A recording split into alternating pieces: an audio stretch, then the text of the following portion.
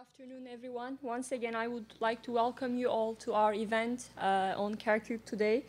We are very pleased and honored to be hosting Dr. Najmaldin Karim, who is uh, the governor of Kirkuk province since 2011.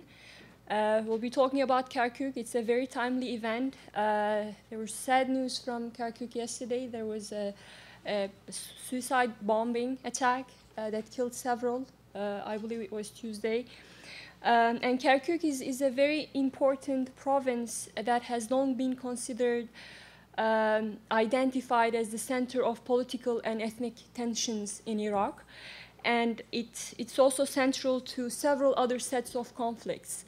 And some consider and argue that, that Kirkuk has the potential to uh, make or break national reconciliation efforts between different ethnic groups um, in Iraq.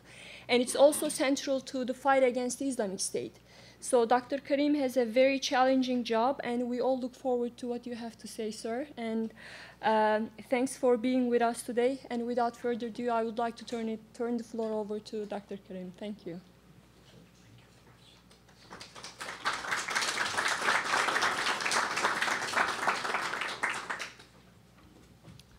Thank you very much. Uh, uh, it's really a pleasure to be here at the Middle East Institute. It's not strange to me. I used to come here before I was a governor or had any official position.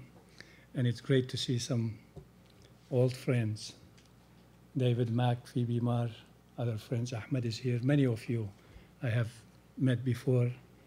Uh, with Ambassador Mack, uh, we go back a long way actually, 1991, uh, the, after the uh, first Gulf War.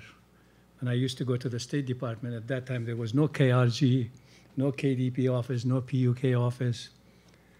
I remember one day I was in the operating room, honestly. I don't know if you remember or not. I was in the operating room at the Washington Hospital Center.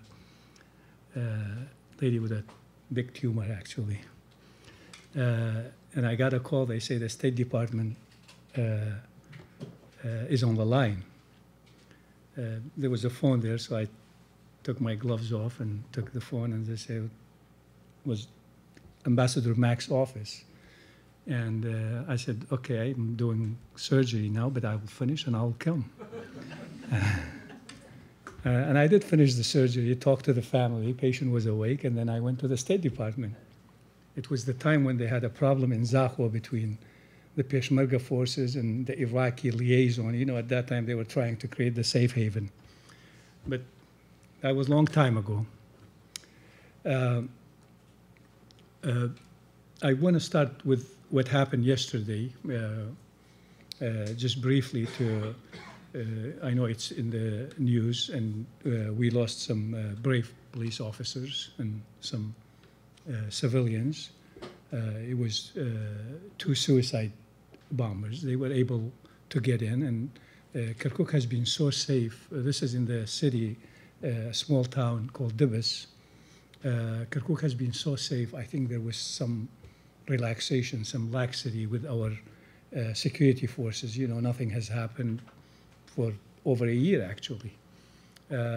So they, if they were more alert, probably this wouldn't have happened, or it would have happened with less damage and casualties. But um, uh, you know, suicide, when somebody decides to die, it's very hard to locate them and find them before that happens. We have done it occasionally, uh, but you can't always prevent those, uh, uh you know, those, uh, I mean, the guy wants to die, and whoever he kills with themselves, they do it. but overall, the situation in Kirkuk is really safe. In the city, uh, we haven't had any major incident, you know, uh, for a long time, and uh, the city has over 500,000 internally displaced people, and Ahmed was there not long ago.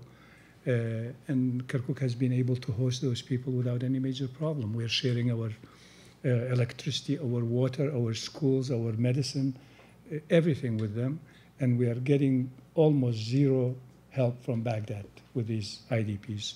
Very little help from the UN. It's the generosity of the people of Kirkuk that has really kept the place safe and these uh, IDPs to feel like at least they have a home. they, have, they haven't been received anywhere else in Iraq. You have heard about Baghdad and the bridge when people of Ramadi was trying to go in other places in Mosul. But in Kirkuk, uh, uh, I mean, if, if you talk to them, the place they have been received the best has been in Kirkuk, uh, which, is, which is a testament to the goodness of the people there, actually. Uh, I think being in the Middle East Institute, it's, it's proper just to remember uh, uh, a friend of ours, most of you know, uh, regardless of what you think of him. I think the passing of our friend Ahmad Chalabi was uh, something very sad for me personally because he has been a friend. He was a brave person. Uh, uh, take politics aside, we agreed with him at that time on everything. Uh, then Monday night or Monday quarterbacking is always is is always there sometimes. Uh, uh, but it was a sad thing. I think he was a good person. He was very brave, uh, and he was really working hard in the parliament as uh, chairman of the finance committee uh, as far as reforms. And he was very bright. You may all know that. Uh, well, let me uh, start with uh, Kirkuk. Uh, you mentioned a point uh, uh, that where Kirkuk goes, there goes Iraq.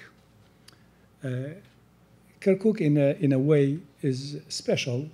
Kirkuk is a mixture of ethnicities, sects, religions, uh, and when I went back in 2011, uh, well, in 2010, and then in 2011, I became governor. Before that, I was a member of parliament for about six or eight months.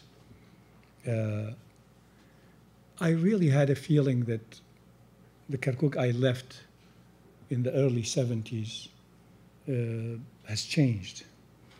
Uh, I have seen people going to Kirkuk visiting there for a day or sometimes from outside writing reports about Kirkuk, that Kirkuk is this time bomb and it will explode any time. And if that happens, all Iraq will go down the drain. Uh, but the reality was not that, which made my job much easier, despite the difficulties and, and problems we had. Actually, uh, when I went back, starting with the uh, campaign process for the parliament, early 2010. Uh, I could go to the bazaar, to the uh, outside, to different places, and you could see a Kurd and a Turkoman, they are partners. They have a shop, they work together. Uh, you see an Arab and a Turkoman, an Arab and a Kurd. And actually, you don't see that tension among the people. Everyday working person, you don't have that tension. And you also don't have, uh, you, could see also a lot of intermarriages. I mean, much more than I thought, really. Uh, and I come to realize it's really a group of politicians. They just make, you know, uh, issues out of something that doesn't exist, actually. And if you come to Kirkuk, you realize that. And I honestly tell you, if there are probably less than a dozen number of people, if you just take these people and just shut their mouth you will not hear all these bad and terrible things about Kirkuk. Because the people do really get along together. And that's, when, once I saw that, I, I, uh, like I said, it made my job easier. Instead of focusing on politics, Kirkuk is Kurdistan, Kirkuk is not Kurdistan, Kirkuk should be in KRG or not, it, or this and that. Focus on services. Services unite the people. And, and that's what we did. Uh, that's what we did. Uh, uh, we started building schools. Uh, we started building roads. We improved our electricity actually from two to four hours a day to the best electricity in all of Iraq. Actually, it was so good that Minister of Electricity, the new one, tried to cut down on our supply, and because he said you have a lot of electricity, others don't have it. I said, well, we're paying for it. It's not uh, uh, something that you're giving it for free. We are getting just our share from Baghdad. I think this helped the people to really calm the people down. a lot of jobs were created. A laborer was making 10 to 10, uh, 9 to 10,000 dinars a day. Before this economic crisis and the ISIS thing, actually, you couldn't get a laborer for 35,000 dinars a day. It was, it was, and, and people would come from Ramadi, from Mosul, from other places to work in Kirkuk because we had so many projects. Uh, and that showed up, you know, the people appreciate uh, work. That showed up in the elections for the parliament in 2014 uh, uh, when the people voted. It was the first time since 2003 that Arabs and Turkmens voted for somebody who is not their ethnicity, actually and, and that happened. You know, people are smarter. They see, they see, if they see good work, they reward you. They see bad work, they tell you you're doing something bad. And, and that really created a very much less tense situation, uh, and it was helpful. And then we had issues with Baghdad. In 2012, uh, Prime Minister Maliki decided to create uh, Tigris Operation Commands, uh, which meant that everything in that included Kirkuk, which meant that everything will be under his control or the military's control, including the police, administration, everybody. Uh, you know, other provinces in uh, Mosul, in Tikrit, in Ramadi, Diyala, those places, they accepted this. We refused. We refused the army to come to the city uh, because we thought army doesn't belong to the city, police belongs to the city. And there was big issues with him, uh, but we refused, and they never came.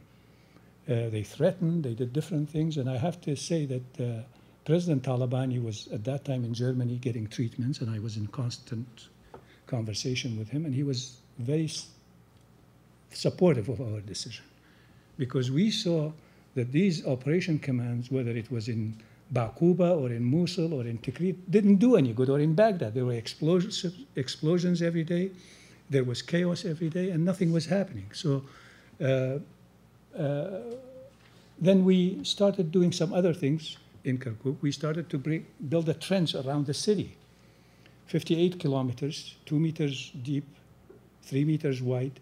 So there will be only one access into the city. And that really helped cut down on car bombs and other things significantly. And then we moved fast forward to, uh, oh, the other thing we did was uh, we moved police headquarters that was in the middle of the city, in the middle of shops and everything that was target of terrorists and explosives there. And uh, we moved them in the, into the airport. Baghdad objected. Uh, actually, I might uh, tell you, we even had some friends from here who were the, at the embassy. They said, well, this is property of Ministry of Defense. He says, yeah, but it's property of Kirkuk. Uh, so we, we will do it. And we did it. And actually, that since that, they know nothing has happened that was related to police headquarters in, in the city. Uh, and there are many other uh, measures that we took to protect our people. And the protection was not for one ethnic group or one sect, or it was for everybody. Then comes June 8, 2014. ISIS comes, takes over western or western bank of Mosul, especially the northern part of it. Uh, I talked to the governor.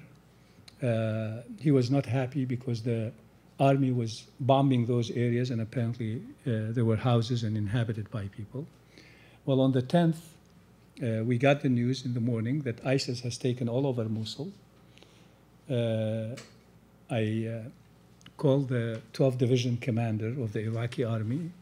He came to my office. I said, What are your plans? He said, We're going to reinforce our uh, units in a place called uh, Tal al-Warid, which is uh, west of Kirkuk.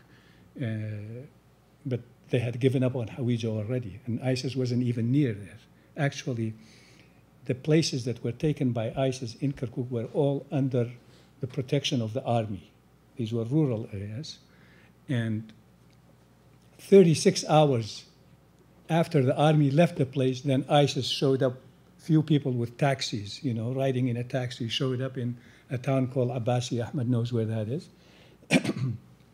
and uh, uh, they took over. So uh, I called the commander at 4 o'clock. I said, Where are you? He said, I'm at Tal al Warid. And then I found out he was not. Actually, he was at K1, which was the headquarters of the 12th Division. By midnight, I got in touch with him. He said, Well, everything is finished. They are looting the place. They are taking everything, you know, people and whoever in that area. They are looting the headquarters of the, uh, of the army. Uh, I sent for him the next day. He came with six other officers. He says these are the best officers of the Iraqi army. Uh, everything was finished. We got him civilian clothes. I made arrangements for him to go to uh, to fly to Baghdad from Suleimania Airport. Uh, that was as much as the Iraqi army did the 12th Division. And, and the reason I mentioned the Operation Command, had we allowed Iraqi army to come into the city of Kirkuk, the fate of Kirkuk would have been exactly the same as Mosul, as Ramadi, as, as Tikrit, as, as those places. That's really what saved Kirkuk. Today, uh, Kirkuk is protected by Peshmerga. Uh, the Peshmerga uh, has paid heavy prices. We had good commanders, uh, you know, paid, lost their lives uh, protecting the city. Uh, like I said, uh, they had to deal with flood of IDPs coming. At the meantime, defending against ISIS. the situation was very dangerous at the beginning. And then ISIS had a major offensive in October of last year. It was repulsed by the Peshmerga forces. They made some advances initially, but it was retaken. Uh, and in that battle, we lost some brave Peshmerga forces. We even lost police, actually, even our police. Uh, the rural, uh, uh rural area police also participated with them. The major offensive by ISIS was in January of this year, January 30th and 31st. And they you know, organized a big force, and their uh, plan was to take over the electrical uh, uh grids, take over the gas storage areas, and take over the oil fields. With the help of the coalition forces and the Peshmergas, and even then they made progress. They attacked from six, six prongs, and from five of them they were able to advance a little bit.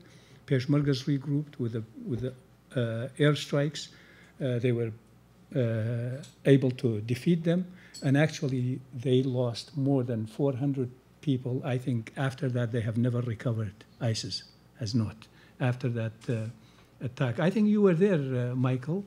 It, one of them, I don't know which one. Was it October or the January? Yeah, the second month. Yeah. Uh, so,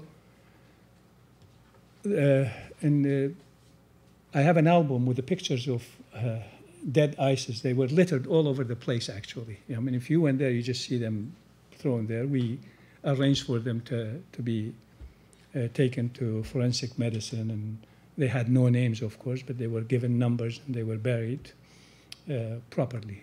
Uh, uh today, uh, ISIS is driven further apart to the point that uh, to the point that the artillery and uh, other means that they use to bombard, uh, sometimes they can reach those vital structures, but not accurately because they're, they're, driven uh, far away. The only place that's uh, still has ISIS in it that's close to a city called, uh, a town called Taza, is a village called Bashir. These are Turkmen, uh, Shia Turkmens. and that probably would have been uh, finished as well, liberated. Uh, but there's a conflict here because uh, they have Shia militias, even though they are local Turkmens, really. We, we, said, we, we said that many times. But the U.S. is reluctant to have Air Force involved uh, when, there are, when there are Shia militias. So that's the only place. Otherwise, they have been driven apart. The situation now is you have uh, Iraqi government forces and Shia forces coming from uh, south through Tikrit to come to Hawija area. That's the border between Kirkuk and uh, Salah ad-Din province. Uh, initially, it was thought that they made some progress, but they really have stopped. This is about two weeks Um, so Hawija uh, and some sub-districts around it, Abbasi, Rashad, and uh, Riyadh, they are still controlled by Daesh. And most of the people who are fighting for them are local people. They're not foreigners. They're Iraqis, and most, most of them are local. They are from their towns we know, and they have recruited a lot of young people. They have recruited a lot of young people. Uh, I, they may have had some foreigners, uh, uh, but very few. They're mostly locals. We know even their leader who they are. Uh, so this is it's a myth that this was uh, all people from France or from Chechnya or from these places, Dagestan, and coming. Uh, may, they may be in Syria, but not in Iraq. Um, we have uh, our relationship with Baghdad. Kirkuk is administratively connected with Baghdad. People get their salaries from Baghdad. Uh, but Baghdad still believes in strong central government. The prime minister says he wants to delegate authorities according to the law that was passed in 2013 to delegate authorities to the governors, governorates uh, from eight ministries. But each minister that comes there, they think they are ministers forever, so they will not accept it. They, they put roadblocks, they will uh, prevent this from happening, and that has created a lot of tension between governorates, including ours, and Baghdad.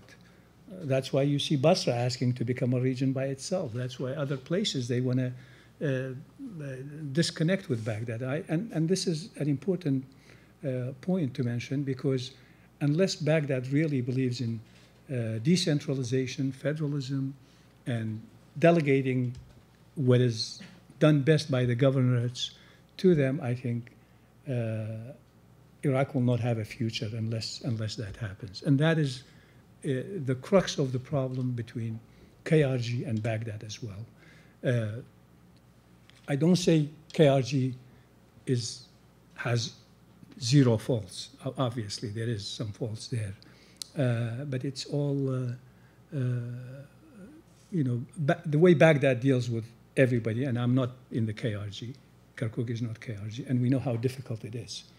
We haven't received any budget uh, for all 2015. We have received so far 26 billion Iraqi dinars, which is about 22 million dollars for a for a, a governor that uh, has a population of a million and a half plus 550,000 and over IDPs. This is this is how it is. And I have seen the prime minister four times, and I've discussed with him. He understands it, uh, but it looks like the economic uh, situation is so bad. Uh, there's no cash flow, and uh, when uh, I was in Baghdad, I was talking to Mr. Chalabi, and he deals with finance, and he knows all the numbers, and and he really thought that, you know, even the salaries cannot be continued if the situation continues like this. Uh, as far as the military situation is concerned, there has been progress in places like Tikrit, Salahuddin province in Beji. Uh, Diyala has been declared free of ISIS long time ago, I think probably seven or eight months, by Hadi al-Amiri. Uh, but there are problems. The problems, we have about 24,000 plus families from Diyala province. They are not allowed to return. They are not allowed to return. There's sectarian problems there. Uh, they want to return, but they are not allowed. Some problems happened in uh, Salahuddin province, you know, when it was liberated. Uh, we have 53,000 plus families from Salahuddin province and to the date I came, I left there less than uh, 22,000, uh, 2,200 families have gone back. So there is uh, there's really a big problem there. Sometimes ethnicity plays a role. You know, uh, the uh, Shia militias are, you know, not in some places they're not allowing people to return. It may be individual acts, but it's working. It's not allowing these people to go back.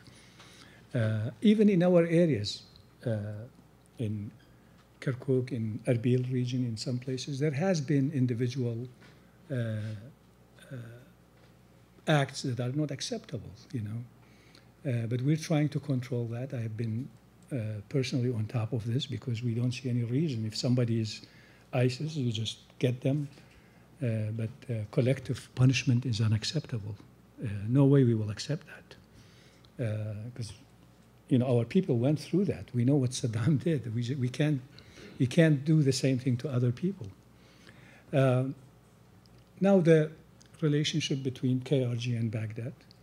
Uh, obviously, the tension between KRG and Baghdad has been going on really since 2003, since the beginning of uh, uh, the constitution when it was uh, being written, and then and then after that, uh, it was mainly it's mainly about the oil, but there are other issues involved.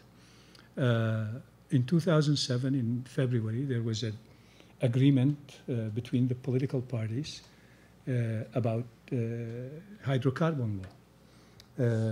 and this was supposed to go to the parliament and be voted on. It never happened. But in it, there is a clause that each side can go ahead and do contract with uh, oil companies and do this. So the KRG went and, according to this agreement, uh, invited companies, and you probably all know that. Uh, for a long time, uh, uh the oil ministry, uh, uh, Mr. Shahristani was the minister, said that this is illegal. Uh, but there is, it is, there is a clause in that agreement that says that. Uh, well, Mr. Shahristani is no longer oil minister, but he is in that. Uh, uh, they have a committee that involves him, oil minister, finance minister, the prime minister, of course, himself, and one other. Uh, I think it's planning ministry. These are the ones who decided. So in December of last year, a delegation from KRG went to Baghdad, and they had an agreement uh, we complained to both of them because it was about Kirkuk and we thought we should be in it according to the Constitution, Article uh, 1, uh, two, uh, uh, 211 and 212, that the governors should be included. We complained. They both agreed that they should have invited us. in that agreement, KRG is to export 525,000 barrels with 300 from Kirkuk, the rest from KRG. Uh, and the only way to do that was through uh, pipelines going through Kurdistan regional region to, to Turkey because the other pipelines were all controlled by ISIS, uh, the old pipeline. Uh, what happened is uh, the, there was also an understanding that until April, KRG cannot export that amount because the pipelines were not ready, you know, the diameter and other things. Uh, so by April, they were able to meet that amount. Uh, so KRG was expecting to get paid, you know, because now they are exporting that much. Well, uh, apparently Baghdad didn't uh, count it that way. So what they did, they counted from January until then, and they divided it by four or five months, so it, the uh, the net is, is, is less than what uh, was agreed upon, and that's a problem between the two sides. Currently, all of Kirkuk's oil goes through the Kurdistan region uh, to Turkey. Uh, the proceeds from that is supposed to go to a bank in Turkey, and this, there's Turkish government is part of, of this agreement.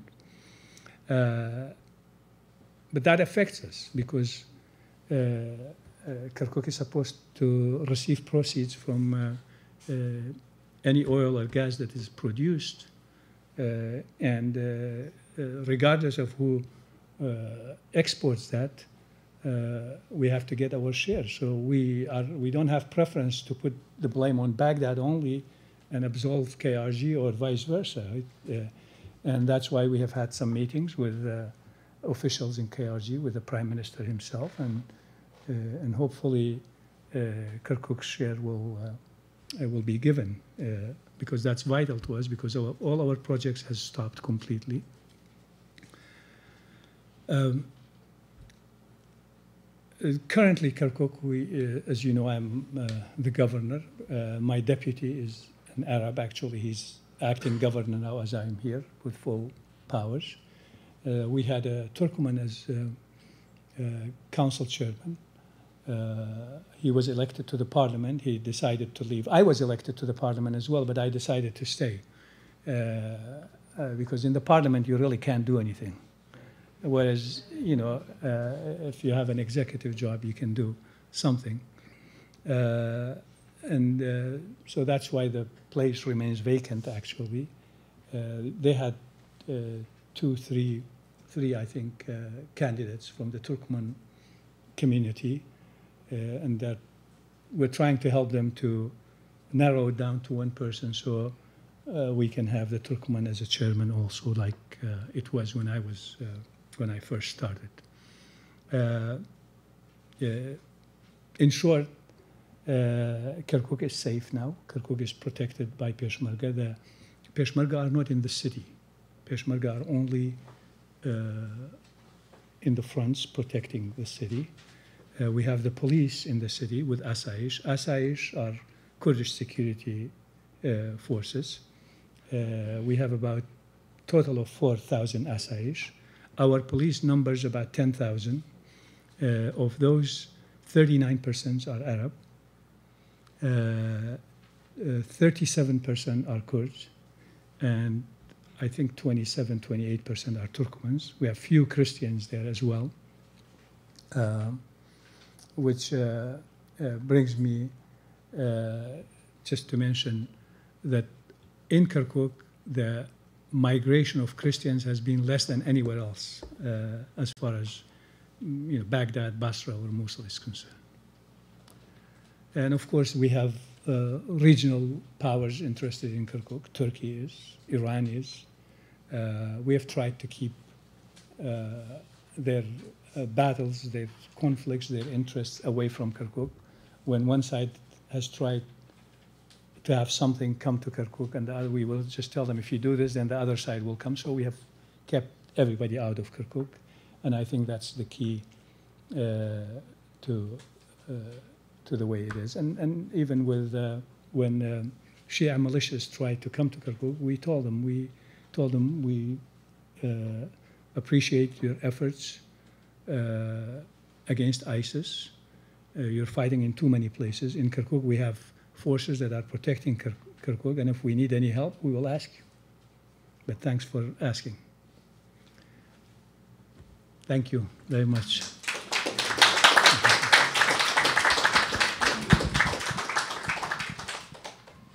Well, thank you so much, Mr. Governor. And um, as the moderator, I would like to ask the first question, if I may, before opening the floor for questions from the audience.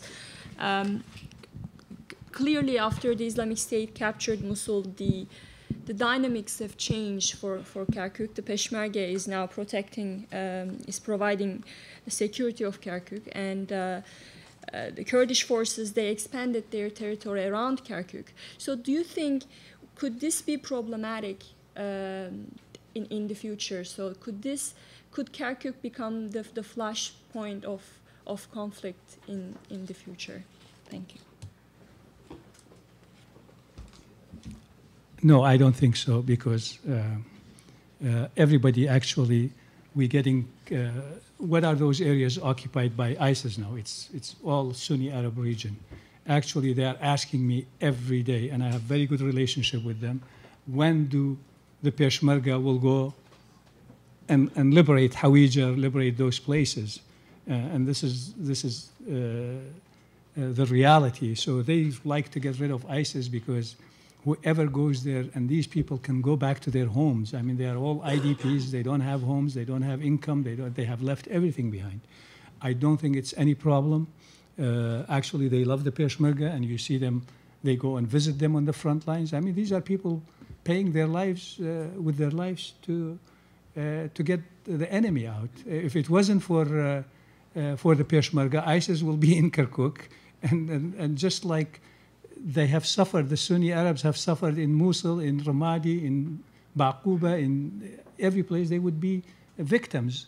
By the way, everybody associates, uh, or I, I shouldn't say everybody, but there is some thought that ISIS is Sunni Arab. But in reality, the Sunni Arabs have suffered the most from ISIS than anybody else. You know, the Shia areas are protected pretty much.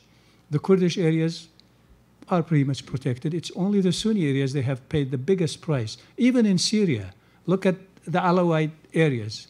You know, they have been pretty much safe so far uh, from this. So I don't think it is. Uh, uh, it's a problem. Actually, the, Peshmerga, the Peshmergas are a little bit reluctant to go further because uh, they need help. They, uh, you know, as far as ammunitions are concerned, weapons are concerned, uh, you know, protective gears, vehicles, and, and they lack a lot of things. It's, it's really the bravery and the love of land that's making them go as far as they have. Thank you so much. Now I would like to open the floor for questions. Please um, identify yourselves and try to be brief um, to be fair to others. So the gentleman over there. Oh, Mike. I'm Mike Knights, Washington Institute. Great to see you, Governor. Thank Um, you. uh, so, asking about the uh, Sunni tribes that are being gathered together in places like Laylan and other areas around Kirkuk, Mahmur even. Um, obviously, at a time when the Peshmerga are not getting fully paid or fully armed, it's difficult to think about giving arms, pay, equipment, training to other people, like Sunni tribes, let's say. But those IDPs are not going to go home unless those areas are reconquered, mostly by Sunni tribes, potentially. What do you think is going to be the future of that? You know, how do we get around the obstacles that are preventing us from setting up Sunni Hashid or Shabi units in uh, in the Kirkuk area? And you know, is there any way you think that the Peshmerga could not lead the operation to take back Hawija, but maybe could support and embed and in some way help it forward? Mr. Governor, can we take one more question? Yeah, And sure. then- so let's take one more. Uh,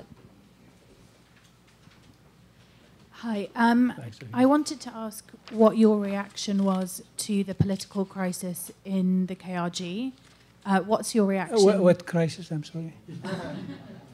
Uh, your reaction to the expiration of President Barzani's Oh, term in okay. office uh, and the removal of Goran from uh, from the government? And has there been any impact for Kirkuk? Um, let me ask, answer uh, Michael first. Uh, I think participation of the people from the areas that has been occupied by ISIS is critical to liberating these areas and then to keep it secure. Uh, that's why I say, you know, Peshmergas are reluctant to go to Hawija. Hawija, it's 100% Arabic-speaking people. Peshmergas, unfortunately, this new generation, they don't speak other than Kurdish. Uh, so they will be strangers. They cannot even interact with the people. Uh, and, and for that reason, we actually, it's almost eight months. I invited some of the Sunni Arabs from Zab, from Hawija, from uh, Rashad, and those places uh, to see if we can form a force for them so they can participate with the Peshmerga. The Peshmerga can help them, but they can be the leading force. And we did collect about seven or eight hundred of them. They were ready to volunteer, happy to go and die to, to liberate their areas. I tried with the government in Baghdad to uh, to train them and arm them, and they were most of them were uh, were Sahwa before, you know, the awakening. Uh, but they had gone, you know, because they weren't paid and all that. And these poor people, they stayed there. I got them a camp in Laylan, like you said. Uh, They stayed there for months, no salary, no weapon, no training, nothing, and finally they disbanded. Actually,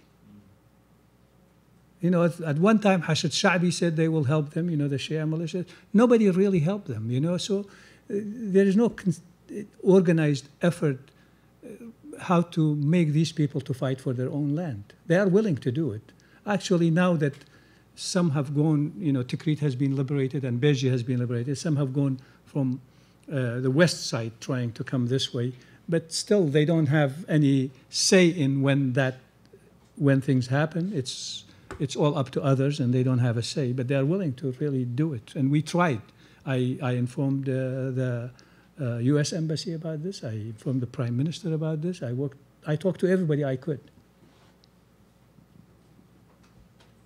and Well, let me let me answer the lady's question. Well, uh, uh, you know, there, there's presidential law. uh, that uh, uh, outlines the president's term, two terms.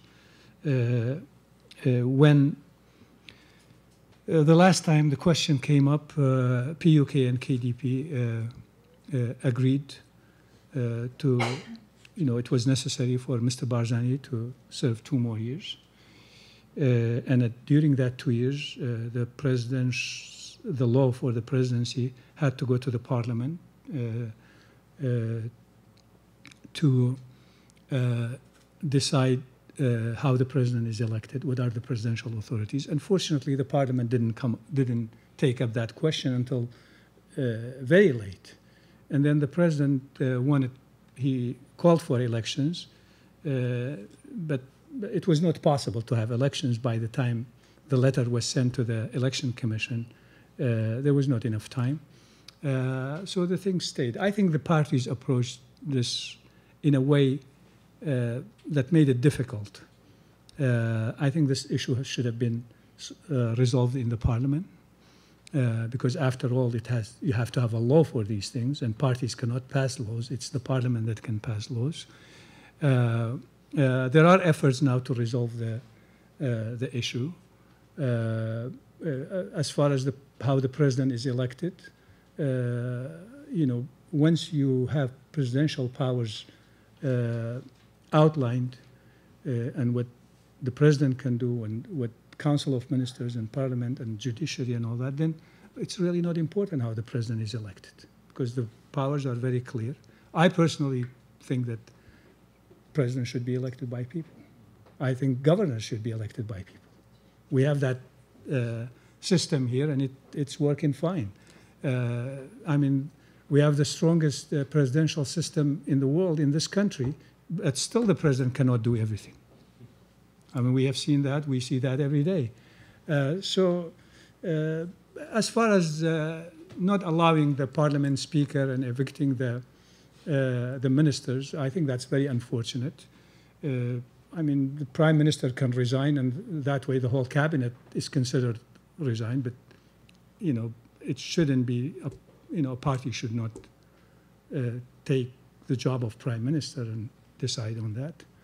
Uh, and I'm hoping that this will be resolved and uh, uh, the speaker goes back. You can always re-elect a new speaker. Take uh, that thing away. It, it, can be done, and we have to get away from this tension.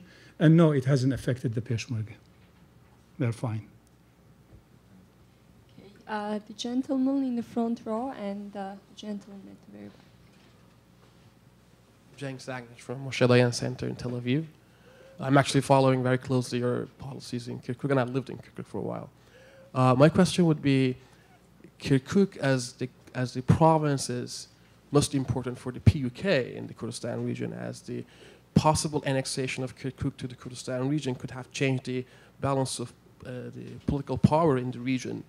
Uh, in favor of the PUK, as it's the third party now, but in the possible annexation of Kirkuk and Germian to the to, to, the, to the region, uh, your party could be could become the first party in Kurdistan and uh, easily overthrow uh, the KDP-dominated government.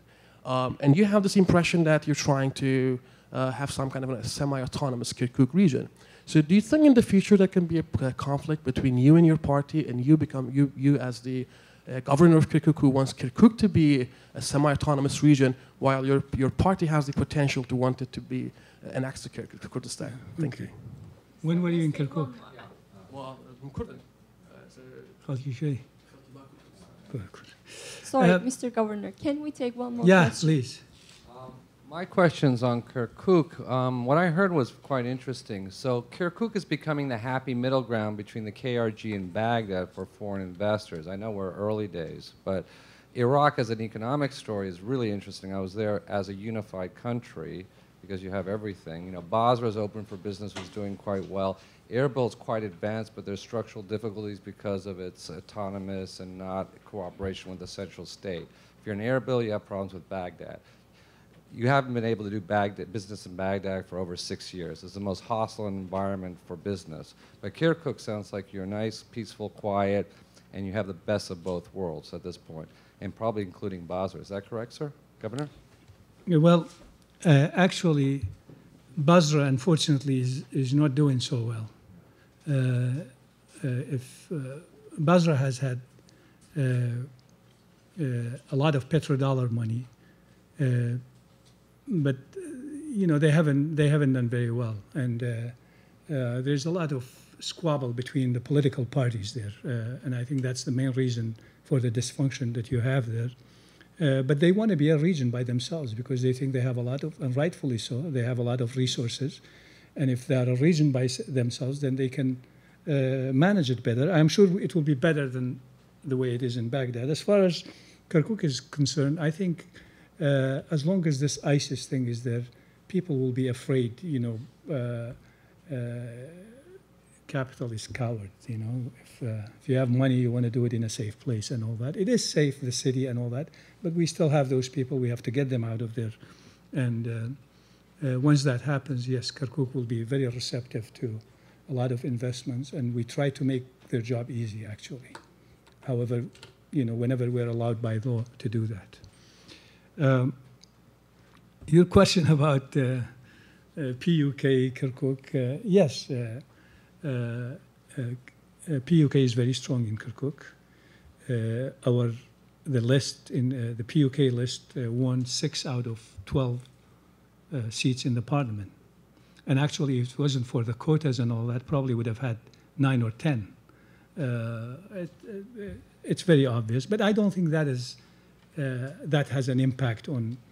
Uh, uh, Kirkuk joining the Kurdistan region or staying out of it or uh, becoming a, a, region by itself.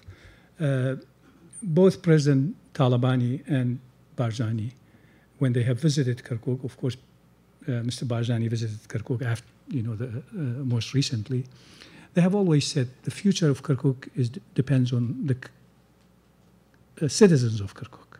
They have to decide that. And my personal opinion is you have to prepare the grounds for any eventuality. Uh, to me, Kirkuk is Kurdistan, but not every, not every Kurdish city or not every place in Kurdistan is part of KRG. You know, you have Kobani, you have Kermanshah, you have uh, Diyarbakir. They are not uh, part of KRG. Uh, so uh, I think uh, Kirkuk, uh, we have, like I said, we have to prepare the grounds for it. How do we do that? Uh, for those who really like to, for Kirkuk to join the Kurdistan region, obviously it has advantage. It's more secure, it's more prosperous. Uh, you know, it's a big difference between KRG and, and, the, and the rest of Iraq. Uh, but you also have people there they're not all Kurds. It's not like Erbil or Suleimania, or so you have to prepare the people for it. And I have asked the parliament speaker and the officials in the Kurdistan region. You have some uh, laws written in the parliament about the future of Kirkuk once the people vote on joining the Kurdistan region. What are the rights of the Turkmens? What are the rights of the uh, Arabs?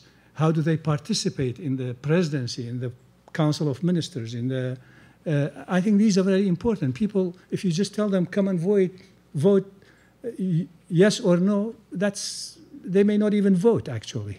But if you give them hope and options and some reassurance that once that vote is towards joining Kurdistan region, I think people will vote for that. And I tell you, uh, that election we had last year showed that because we did get votes from Arabs and Turkmens because they, you know, it's, it's a matter of trust, but you can't just, if, if we have a referendum tomorrow, you say, well, oh, no, Article 140 says a referendum. Okay, let's have a referendum. 50.01 votes for joining the Kurdistan region and 49.9 votes against it. What do you gain by that? You get a Kirkuk that's divided, never safe, never, uh, never works. So you have to prepare the grounds for it. Uh, I think Kirkuk will benefit from joining Kurdistan region. Uh, but I think you also have, if you cannot do this, Article 140 and 58 before that in the TAL agreement has been there since 2004. So how many years? 11 years plus. And it has stayed the same way, nothing has happened. Isn't it better to take some of the, some, you know, to have Kirkuk decentralized and not to have Baghdad control everything. And do it for a transitional period, and maybe people will see that and uh, and then we'll say, okay, well this this is working well, and and then you go to a referendum, whatever it is, but you have to do some work in the Kurdistan region. It doesn't come by just talking about it. We have uh, a question from the overflow room. Uh, is a very specific question. Is Kirkuk getting two dollars per each barrel produced? We are supposed to get five dollars, according to uh, the law that was passed in the parliament. Actually, at that time when we were discussing this, we were the most proponent of increasing the petrodollar from one, but I suggested it should be by five five percent, not five dollars. You know, because you could see now, it, you know, five dollars in forty-five. You know, that's ten percent, more than ten percent. Uh, but anyway, uh, they haven't paid anything.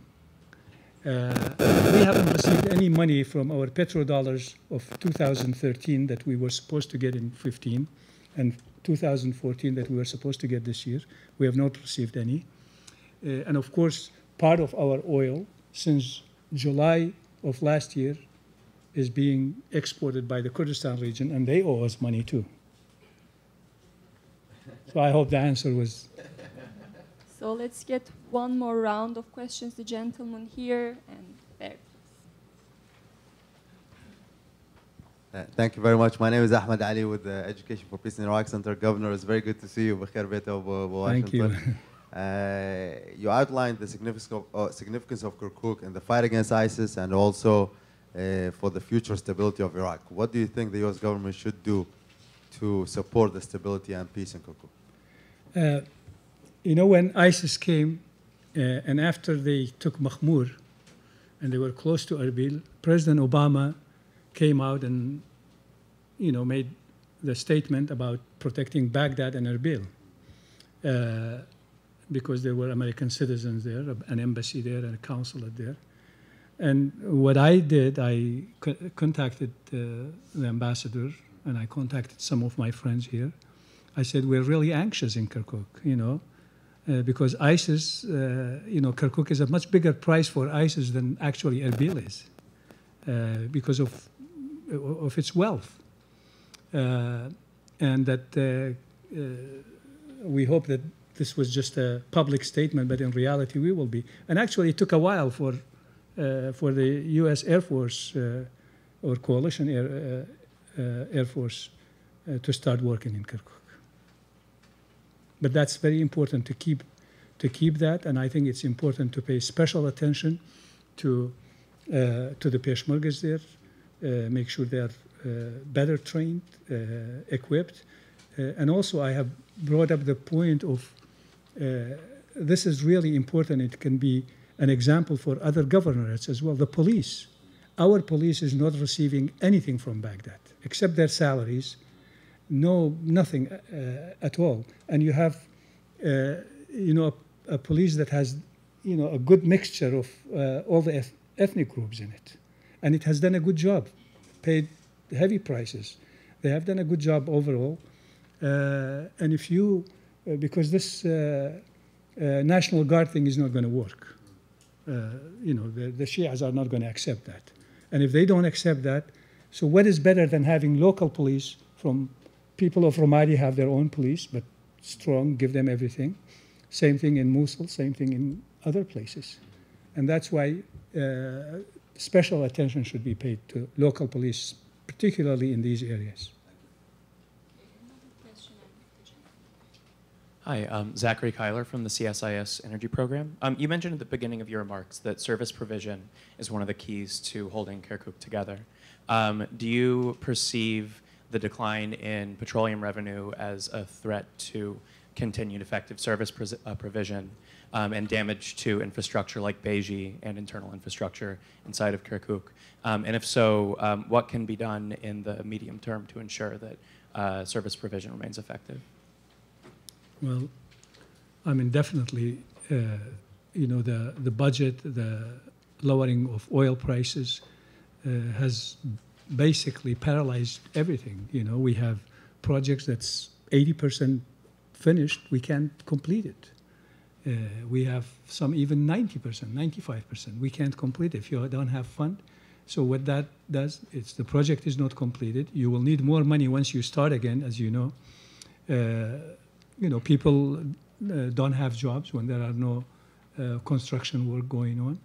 Uh, how do you do? How do you uh, cure that? I think uh, uh, we have to have real reforms, not uh, just cutting down some salaries and some cosmetic things. You have to go to the real reform. You have to, to get rid of corruption. You know, the corruption is still rampant uh, in, uh, in all of Iraq, actually, including the uh, Kurdistan regional government. These things have to be dealt with.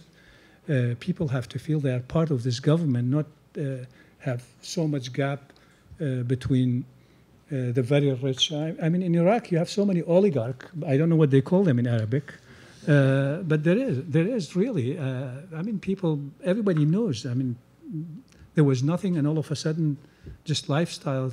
Everything has changed, and and and I think that's really the. the that's the most important thing. I think once people feel there is corruption and all that, they don't feel the government is there. They don't feel they have to sacrifice for anything. But if you get rid of that, and there's a perception that corruption is being fought and bad people are, uh, you know, wha- whatever they do with them, try them, put them in jail, or just dismiss them from their job, I think people will cooperate with the government. And, and even if there is no money, I think. Uh, uh, they will manage, they will have trust, and gradually things will, uh, will be rebuilt again. There was a question there. And I think we have just a few more minutes for a few more questions. Yes, please. Oh. Yeah. I'll come to you, sorry. as we know, the Hashd al-Shabi, they're acting as an Iraqi army now. They are in the south, around the area south of Kirkuk. You don't believe after removing Daesh in the area, Hashd al-Shabi will be another tiger force for the area, as you mentioned, tiger area, what they did. They want to uh, control the area and everywhere. Or in other way, conflict, it's gonna be conflict between Peshmerga and Hashd al-Shabi in the future. Thank you.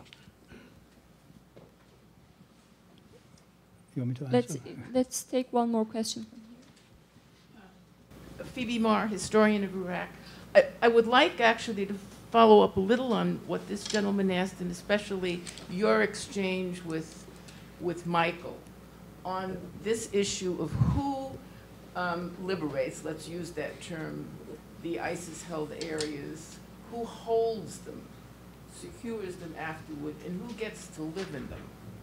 You mentioned specifically the, the numbers of, of Arabs you have in your, your territory who wanted to fight in their own area and so on, and said nothing is happening. You talk to, the, you know, it's a, it's a problem, it looks like a problem of mismanagement. But I'd like to ask you why that's not happening. It isn't. And I, I think for those of us that, that must deal with this issue of the day after and, and what's happening, let's take Salahuddin. Um, people are not going back because of mistrust or whatever it is. Who, who is going to retake that area, secure it? And, and you mentioned knowing all these people, who, who they are. Who gets to come back and why aren't they going back? Could you follow up, please, on, on this, what I think is Yeah, yeah. I'll, uh, well, it's both. Uh, uh, I'll, I'll do my best, Phebe. As far as uh, tension with Hashd Sha'bi, there is already tension in Tuz Khurmatu area. Uh, there is. Uh, uh, you have to remember that uh, the Shia militias are not one. There are so many of them.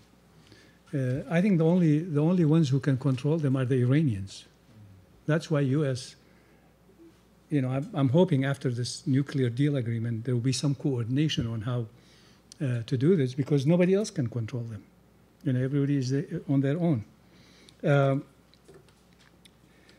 the people uh, who controls those areas, who hold those areas, uh,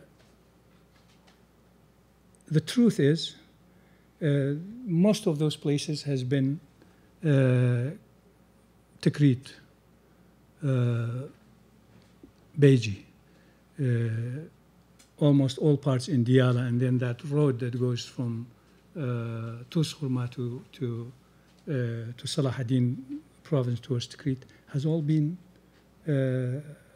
cleared by Hashd Sha'bi, by the Shia militias, all. And, and actually, it's up to them who goes back, who doesn't go back. Because I, I know, for example, in Kirkuk, uh, I got a call from the governor. They will send buses to take families back, but then they had names. Names. And actually, few buses went back empty, even though there were people who wanted to go back. I don't know if that answers your Uh, question there and another one from here and final outcome. My name is Seyit Rıza. I am with the HDP, People's Democratic Party of Turkey. Uh, good to see you, Dr. Kerim. Nice to see you. Uh, my question is, uh, you said that uh, Kirkuk is not protecting by Iraqi army, but the Peshmerga. And the president of Turkey, Mr. Erdogan, calls PYD of uh, Rojava. Uh, they are more dangerous than ISIS. And uh, so, what is your relation with Rojava and PYD? And what do you, what is your comment about that?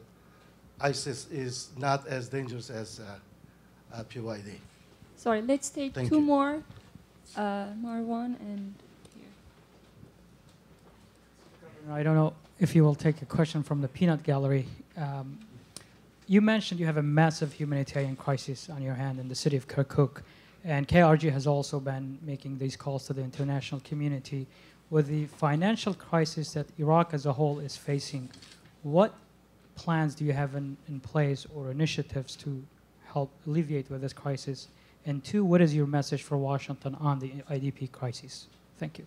Thank you. Okay, let me answer the last question first. Uh, uh, as far as uh, the humanitarian crisis, uh, this is something the Iraqi government cannot uh, do it by itself. It's just uh, when you have 3 million IDPs with no money, no cash. so it needs really concerted international help. And I think here comes uh, uh, the, you know, the reason for the Europeans uh, to help on this. Why are you having all these people going to Europe? I think if you provide an environment where these people can feel like they can live decently and have their children go to school and all that, you may prevent that. And and I think that's something that the uh, the European the European Parliament and all that has to pick up and and be more uh, helpful.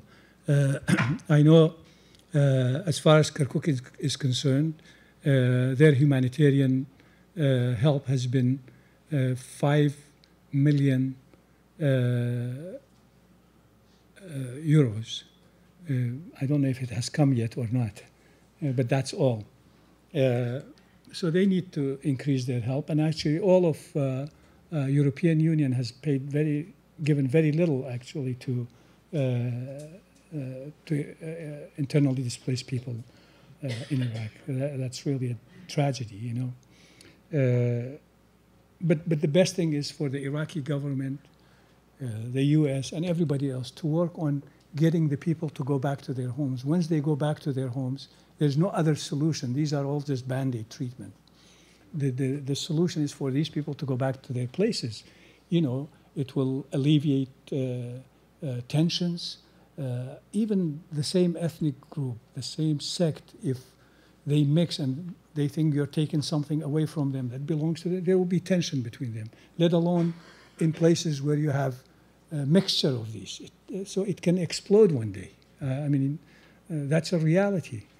Uh, as far as uh, PYD is concerned, uh, I think PYD is doing a great job fighting ISIS. PYD is not worse than ISIS. PYD is a liberating force. they have uh, paid heavy price for the places that they have taken. And I just like to remind everybody from the areas that's uh, controlled by PYD and liberated by them, not a single act against Turkey has happened. It's ISIS that's going to Ankara and blowing themselves up. It's ISIS that's going to Diyarbakir and to Suruj. It's not PYD. And I think, uh, I'm hoping that uh, this opinion will change. Uh, we have seen changes happen before. Uh, I remember at one time very high tension between the KRG and Turkey, even until 2007. But then things changed and has improved. I hope the same thing will happen there.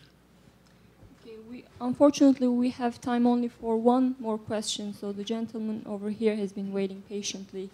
Uh, actually. Uh, I'm Heyman Hassani from Rojhelat. My question is regarding Turkish foreign policy uh, towards Iraq and in particular Kirkuk. Uh, as we know, uh, the PKK fighters uh, played a constructive role in liberating Mahmoud Guer, some parts of Shangal, and correct me if I'm wrong, in uh, defending Kirkuk. So this being said, and now we know that Turkey it is five months that they have started. Uh, uh, ha they have started airstrikes against the PKK camps in uh, in Iraqi Kurdistan, unfortunately. And this being said, and on the other hand, Tur uh, Kirkuk has a noticeable uh, Turkmen population. How do you assess the the Turkish role in uh, security of Kirkuk, people of Kirkuk? Thank you. Thank you. Uh, well, the Turkmen population of Kirkuk are Iraqis. Uh, uh, as far as Turkey is concerned, uh, I have uh, seen and met with uh, high-ranking Turkish officials. I hope this flare-up in the fightings that started before this last election will end. Turkish government was negotiating with the PKK. Uh, I think the parliament should uh, pick up this issue. Uh, it's actually this government itself changed things in Turkey that wasn't there before. So we're hoping that this was all election cycle that led to this, and it will be uh, reversed and negotiation will start. That's the only solution because uh, PKK, uh, you know, Turkey cannot eliminate PKK. PKK cannot eliminate the Turkish army. the only way is is peace, and uh, we hope that that will happen. Uh, as far as our relationship with the uh, Turkish government, I have met all high-level officials, and they haven't actually they have been supportive of our efforts in Kirkuk. I'm happy to say that. Well, so let's end on that happy note. And please join me in thanking Mr. Governor. Thank, Thank you so much.